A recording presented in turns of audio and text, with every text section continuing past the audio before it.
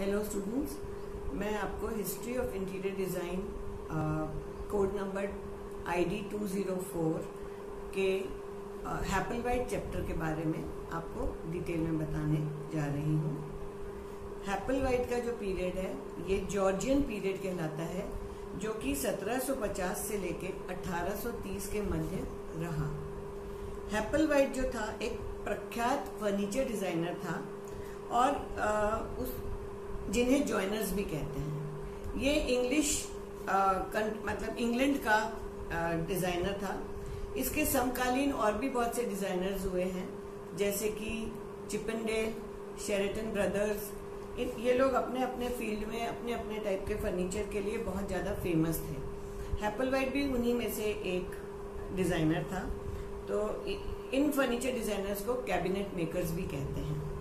इन्होंने अपने कार्य में विशेष योग्यता जॉर्जिस के काल में प्राप्त की थी।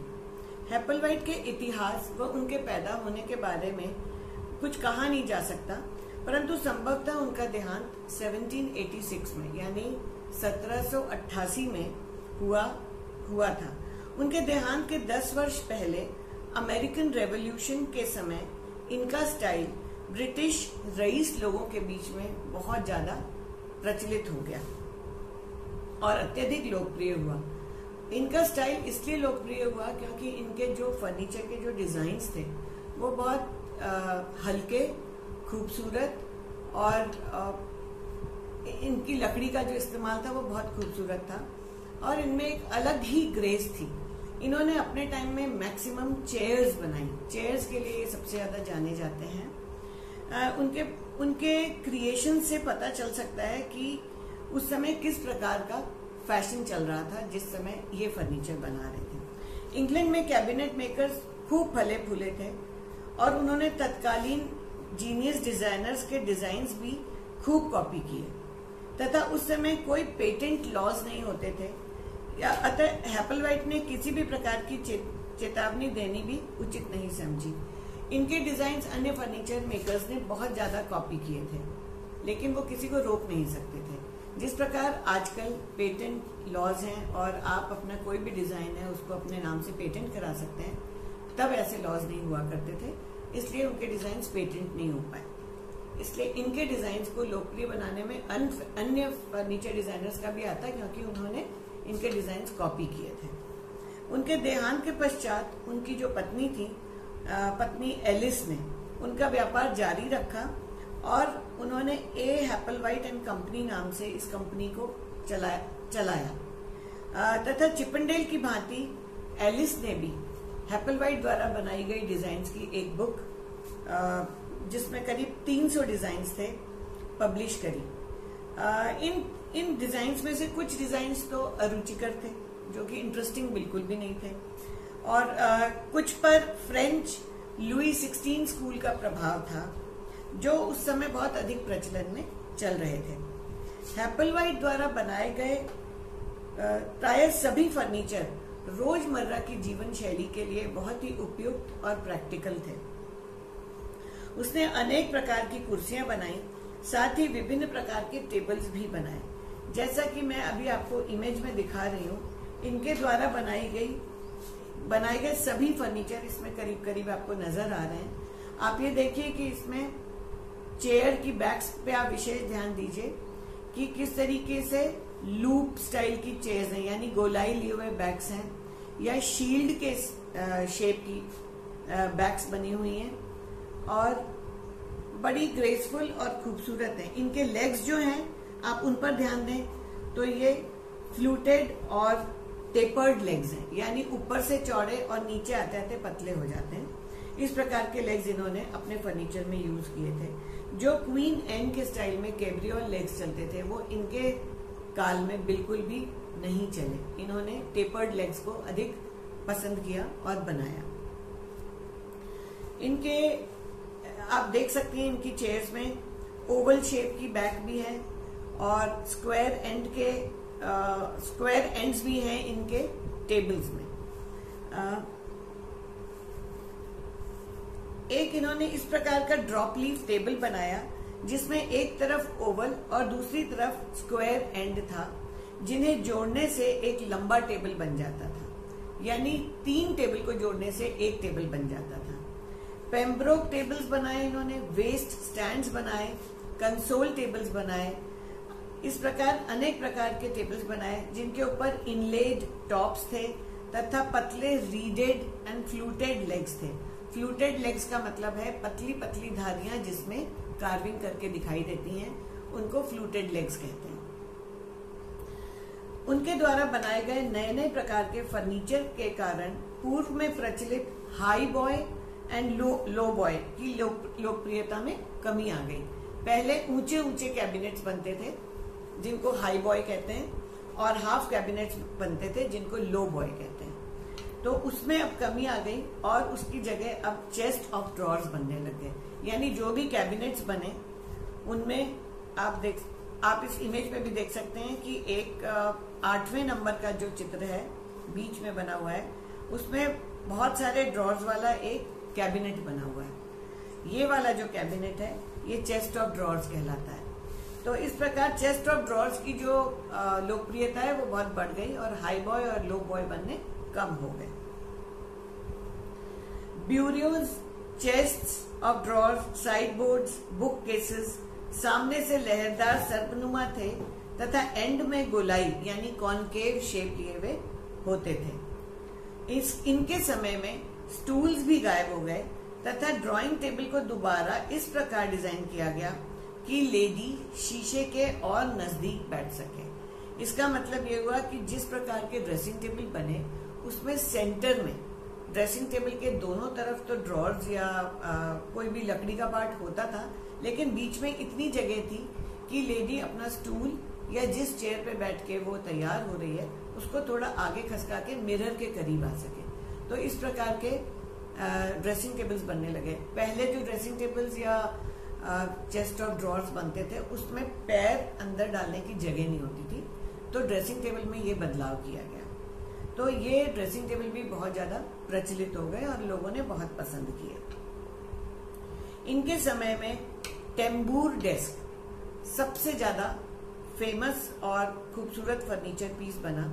टेम्बूर डेस्क जो था जैसा कि अभी आप इमेज में देख रहे हैं ये लकड़ी का बना हुआ टेम्बूर डेस्क है। इसमें जो आ, इसका आप कव, कवर देख रहे हैं यानी इस, इसका जो आप कर्व देख रहे हैं इसके अंदर जो ढक्कन है, वो नीचे खसक के आ जाता है। और जब ज़रूरत है, उसके अंदर से सामान निकालना है, आप इसका ढक्कन खोल सकते हैं और ढक्कन पीछे स्लाइड हो जाता है। और ये तरीका, इसको बनाने का जो तरीका था, वो ये था कि वो कैनवस पे पतली पतली लकड़ी की पट्टियाँ चिपका के ये वाला मैकेनिज्म बनाते थे। तो जिस प्रकार अभी आप चित्र में टेम्बूर डेस्क देख रहे हैं, इसके अंदर आप छोटे छोटे शेल्फ देख रहे हैं, जिसमें पेपर्स, पेन, इंक पॉट्स ये सब रखे जाते थे और इनको सुरक्षित रखने के लिए टेम्बू डेस्क का ढक्कन गिरा दिया जाता था। एक तो ये फर्नीचर पीस था। दूसरा टेम्बू डेस्क आप ये देख रहे हैं, जिसमें स्ट्रेट जिस प्रकार आपको ध्यान होगा कि पहले टीवी आते थे पुराने, जिनको ढक्कन से ढकते थे दोनों तरफ़ से स्लाइड करते थे और टीवी ढक जाता था। उस प्रकार का टेम्बू डेस्क भी इसके दौरान बना। इसमें भी सेम मैकेनिज्म था। कैनवस के ऊपर पतली पतली लकड़ी की पट्टियाँ चिपकाकर इस मैकेनिज्म को अंजाम दिया जाता था। तो इस प्रकार ये टेम्बूर डेस्क इन्होंने बनाए। टेम्बूर डेस्क के अंदर ब्रास की आप देख सकते हैं। ब्रास के ड्रॉर पुल्स हैं जो कि गिरे हुए हैं। इस लकड़ी के साथ ब्रास बहुत ही खूबसूरत कॉन्ट्रास्ट पैदा कर रहा है। और आप देख सकते हैं जैसा कि लकड़ी डार्क कलर की है और ब्रास की की प्लेट्स और ड्रॉर पुल्स इसके साथ कॉन्ट्रास्ट पैदा करते हुए बहुत खूबसूरत लग रहे हैं। इसके लेग्स भी आप देखिए टेपर्ड हैं और इनमें हल्का फुल्का इनले वर्क किया हुआ है। हैप्पल वाइट की जो कुर्सियाँ थी, उनकी, उसको सबसे अधिक शौक अपनी कुर्सियाँ बनाने का था। और अपनी खूबसूरत व नायाब बैग से ये कुर्सियाँ पहचानी जाती हैं। अभी आप जो इमेज में दो तीन प्रकार की चेयर्स देखेंगे, उसमें आप देखिए कि ये शील्ड शील्ड बैग स्टाइल बना हुआ है। शील्ड जिस प्रकार होती थी, आपने देखा होगा जो एक प्राइज में मिलती है, अपन को शील्ड मिलती है, वो वाले शेप की बैक्स हैं। और लकड़ी से इसमें कितना ग्रेसफुल लाइंस के द्वारा इसको इन्होंने बैक के अंदर डिज़ाइनिंग करी है। तो आप ये देख सकते हैं नेक्स्ट जो आप चेयर देख रहे हैं, ये हार्ड शेप दिखाई दे रहा है बैक में। और ये इसमें भी टेपर्ड लेग्स हैं और बहुत खूबसूरत ट्रेसरी का कार्य किया हुआ है इसमें। पतले पतले बॉर्डर्स टाइप के आपको नज़र आएँगे लकड़ी के किनार पे, जो कि इसको बहुत ग्रेसफुल इफ़ेक्ट दे रहे हैं। तो ये heart shape hook shield oval और लायर शेप्स के बैग्स हुआ करते थे इनके। ये आप विभिन्न प्रकार की चेयर्स देखिए। ये चेयर साइड चेयर के नाम से जानी जाती है। इन चेयर्स को स्टडी के लिए यूज़ नहीं करते थे साइड में रखते थे। जैसे कि अगर कोई कार्ड टेबल हो, या कोई पेम्ब्रोक टेबल हो, कोई अलग टेबल हो, उसके साथ में ये हत्थे वाली कुर्सियाँ रखी जाती थी, जिनको साइड चेयर्स के नाम से जाना जाता है। इसमें लकड़ी की जो खूबसूरती है आप इसके डिज़ाइन को देखते ही इस डिज़ाइन से इम्प्रेस हो सकते हैं कि कितनी अच्छी ये चेयर बनी हुई है। नेक्स्ट आप चेयर देख रहे हैं। येलो अपहोल्स्ट्री और ब्राउन कलर का वॉलनट की ये बनी हुई वॉलनट और महागनी ज़्यादा लकड़ी ये यूज़ करता था। ये भी शील्ड बैक है और इसमें विंस्टर विंसर स्टाइल के पतली पतली स्ट्रिप्स ऑफ़ वुड हैं जो कि बैक में लगी हुई हैं और हत्थे बने हुए हैं। हत्थे का कर्व देखिए कितना अच्छा है। और ये भी एक साइड चेयर है, इसको साइड चेयर के नाम से जाना जाता है। जिन चेयर्स में हत्थे होते थे, उनको साइड चेयर्स बोलते हैं। अदरवाइज़ विदाउट हत्ते वाली जो चेयर्स हैं, वो विभिन्न कार्यों के लिए काम आती थी, चाहे वो ड्रेसिंग टेबल के सामने रखी जाए, चाहे डाइनिंग के लिए रखी जाए। तो ये डिफरेंट टाइप की इनकी चेयर्स थी। इनके इनके साथ जुड़ा हुआ चिन्ह, इनके जो जिस जिस भी राजा के लिए इन्होंने अपने फर्नीचर बनाए, उस राजा का जो लोगो होता था या उनका जो राजसी चिन्ह होता था, वो भी कई फर्नीचर पीसेस पे इन्होंने काव करके बनाए। अपोल्स्टर्ड कुर्सियों की कुछ आगे से चौड़ाई लिए हुए हत्थे थे और पीछे गोलाई में जाकर बैक से मिलते थे। ये इसकी खास बात थी। लेग्स चौकोर थे जो नीचे जाते जाते पतले हो जाते थे तथा एंकल पर स्पेड फीट में कन्वर्ट हो जाते थे। जैसा कि आप इस कुर्सी में देख रहे हैं। इसमें स्पेड फीट है। सबसे निचला हिस्सा जो है लेग का, उस हिस्से को स्पेड फीट कहते हैं। द डचेस चेयर जो उस समय का नायाब उदाहरण है, जुड़ी हुई दो आर्म चेयर्स थी, जिनके फेसेस एक दूसरे के ऑपोजिट थे। यानी दो कुर्सियों को ऐसा आपको देख के लगेगा जैसे ये दो कुर्सियाँ हैं, परंतु होती एक चेयर थी, लेकिन एक जने का फेस इधर होता था और एक जने का फेस इधर होता था। इस तरह बैठ के दो लोग आपस में बात कर सकते थे। तो ये इस समय का नायाब उदाहरण है, जो हैपल वाइट ने बनाया था। हैपल वाइट अनेक डिज़ाइन का मिश्रण था। उसने लुई सिक्सटीन व एडम ब्रदर्स के कुछ अति उत्तम पैटर्न्स को इस्तेमाल किया। हैपल वाइट गहराई तक अंग्रेज़ था। न तो उसने चिपनडेल की भांति अत्यधिक कर्व्स यूज़ किए, न ही शेरेटन की भांति उसने सीधी लाइंस यूज़ करी। कुल मिलाकर हैपल वाइट का फर्नीचर हल्का ग्रेसफुल और खूबसूरत आउटलाइन वाला था, परंतु उसने अपनी मजबूती नहीं खोई। इस इस समय का जो बना हुआ फर्नीचर था, वो दिखने में डेलिकेट या ग्रेसफुल ज़रूर था, परंतु मज़बूत भी उतना ही था। बहुत ही खूबसूरत फर्नीचर हैपल वाइट ने बनाया। अपने समकालीन लोगों की भांति उसने महागनी का इस्तेमाल किया जहाँ नक्काशी की आवश्यकता होती थी। तथापि वह लक, हल्की लकड़ियों को इस्तेमाल करने वाला अन्वेषक बना। उसने फैंसी विनियरिंग के लिए साइकामोर इस्तेमाल की ट्यूलिप वुड एबनी रोजवुड व व्हाइट होली को इनले व डिवीज़न लाइंस के लिए इस्तेमाल किया। सैटन वुड को खूबसूरत हैंड पेंटिंग के बेस के लिए इस्तेमाल किया।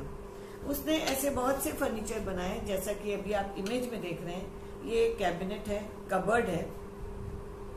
इसमें इसने विनियरिंग की हुई है।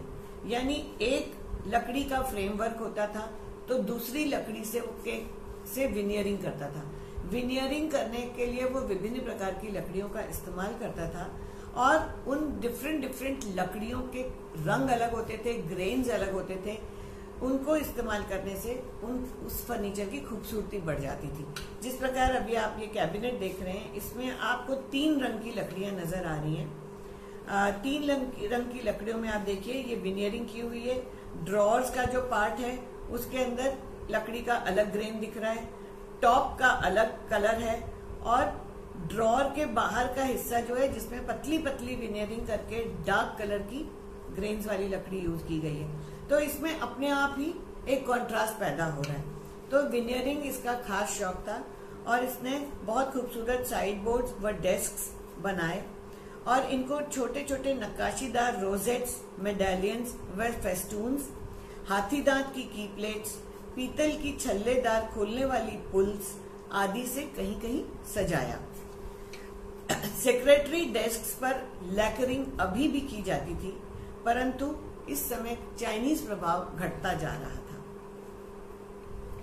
इस समय के जो अधिकतर जॉर्जियन स्टाइल की भांति हैपल वाइट का भी सार्वभौमिक आकर्षण था, जो उस समय के साथ नहीं बदला। यह बेडरूम, डाइनिंग रूम व लिविंग रूम के लिए उपयुक्त था तथा वॉलनट एवं महागनी दोनों में सादे तथा विस्तारपूर्ण तरीके से बनाया जा सकता था। परंतु इसकी लाइंस की शुद्धता सदा बनी रही। वॉलनट के एंटीक शेड में स्टेन करना, यानी दागदार बनाना आवश्यक है, अन्यथा वह दिखने में चिपनडेल की भांति लगेगा। इस प्रकार आप देख सकते हैं, इनके सारे फर्नीचर मैंने आपको दिखाए, और आपने इनकी फर्नीचर की खूबसूरती भी महसूस की, और इनका जो कंट्रास्ट ये ब्रास के साथ, लकड़ी का जो कंट्रास्ट था, ये बहुत खूबसूरती से इन्होंने इस्तेमाल किया। इनके लेग्स इनकी बैक्स और इनके विभिन्न लकड़ियों के साथ विनियरिंग का कार्य करना इनकी खासियत थी। इस प्रकार आपने देखा कि इनके समय के बने हुए टेम्बूर डेस्क, साइड चेयर और आर्म चेयर कितनी खूबसूरत बनी हुई हैं और इनके अन्य फर्नीचर भी मैंने आपको सारे दिखाए हैं, जिससे कि आप इनके बेसिक फर्नीचर स्टाइल के बारे में अंदाज़ा लगा सकते हैं। Thank you so much